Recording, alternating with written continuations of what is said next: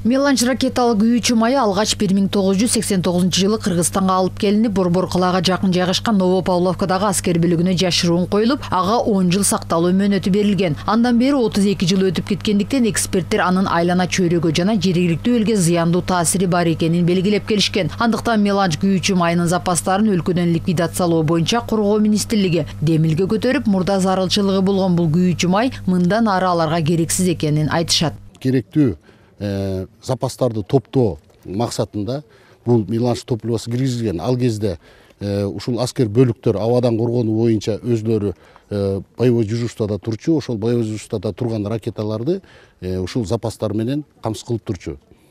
Бул деген запас азыркы убакта бизге кереги жок.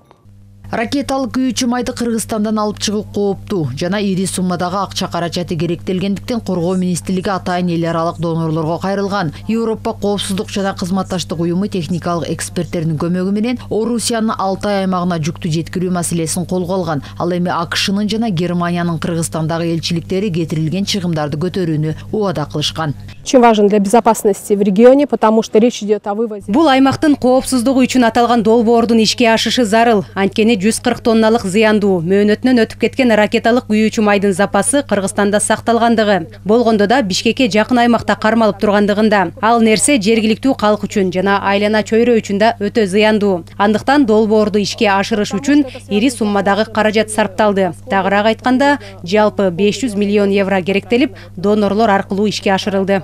Меланж ракеталык күйүүчү майын өлкө аймагынан чыгаруу этабы ушул жылдын жыйырма жетинчи октябрында башталып буга чейин алты контейнер жөнөтүлгөн. Абадан коргонуу максатында колдонулган ракеталык күйүүчү майын жеткирүү кооптуу эсептелгендиктен темир жол аркылуу жөнөтүлдү. Буга чейин дагы эки ку албания армения белоруссия казакстан жана украинада ушул сыяктуу долбоорлорду ишке ашырышканын айтып өтүштү. Защита народа кыргызской республики от кыргыз элинин коопсуздугун жана экологиялык коркунучтардан коргоо акш үчүн маанилүү. Бүгүнкү күндөн баштап новопавловка эли өздөрүн коопсуз сезишет. Бул албетте жакшы көрүнүш.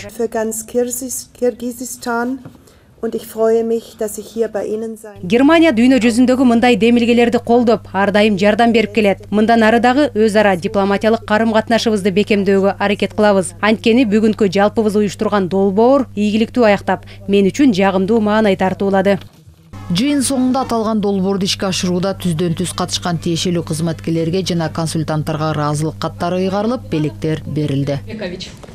Сайрагүл полотова руслан бараненко лтр бишкек